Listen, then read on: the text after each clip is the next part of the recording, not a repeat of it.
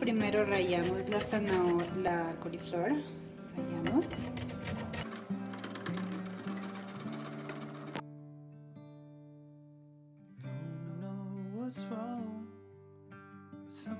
Y después le echas ajo en polvo, le echas pimienta en polvo, le echas sal y le puedes echar algo de condimento más que te guste, a tu gusto.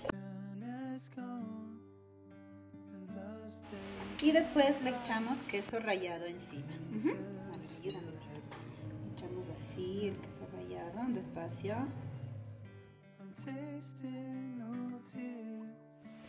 Ahora vamos a hacer una salsa bechamel.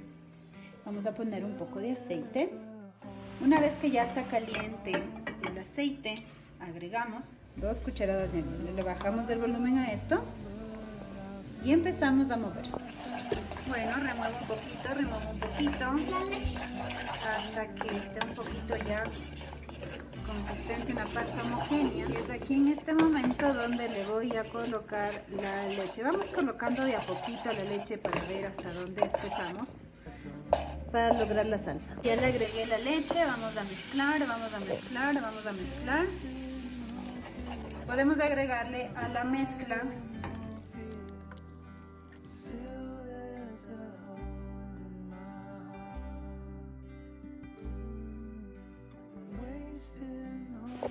Listo, ya tenemos nuestra salsa de chamel y ahora lo que vamos a hacer es colocarle encima de lo que ya tenemos preparado. ¿Sí?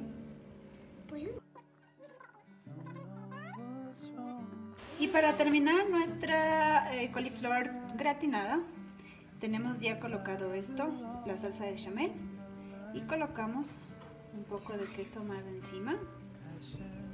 ¿Sí? Ya me